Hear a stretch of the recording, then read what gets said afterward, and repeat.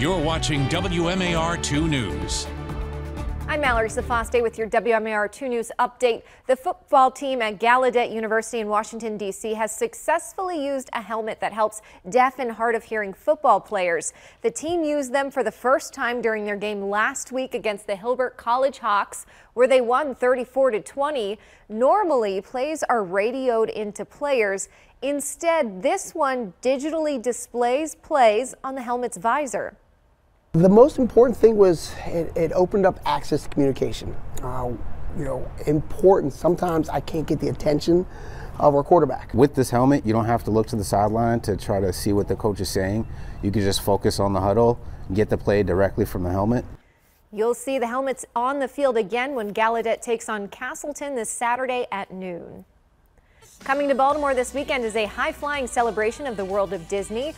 Disney on Ice will be at CFG Bank Arena Thursday through Sunday with its new show, Magic in the Stars. The show promises to be a particularly interactive one, attendees helping to defeat Zurg from Toy Story, for example. We have more information on tickets at WMAR2news.com. Well, touch warmer before the rain gets here for the weekend. We're getting highs back in the mid 70s be hard to top Wednesday, but I think we can do it on Thursday. Mainly sunny skies. See the clouds working their way in Friday, a sign of things to come. Friday's dry, Saturday is not. Showers work in the morning hours, midday, and into the afternoon. We got the Baltimore Running Festival. If you're in that, uh, I'd factor rain in for sure.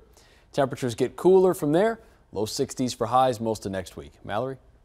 Thanks, Chris. Stick with us online at WMAR2News.com for updates on top stories and breaking news. Also for news and weather while you're on the go, download the WMAR2 News app in the App Store. Thanks for watching. I'm Mallory Sofastaii.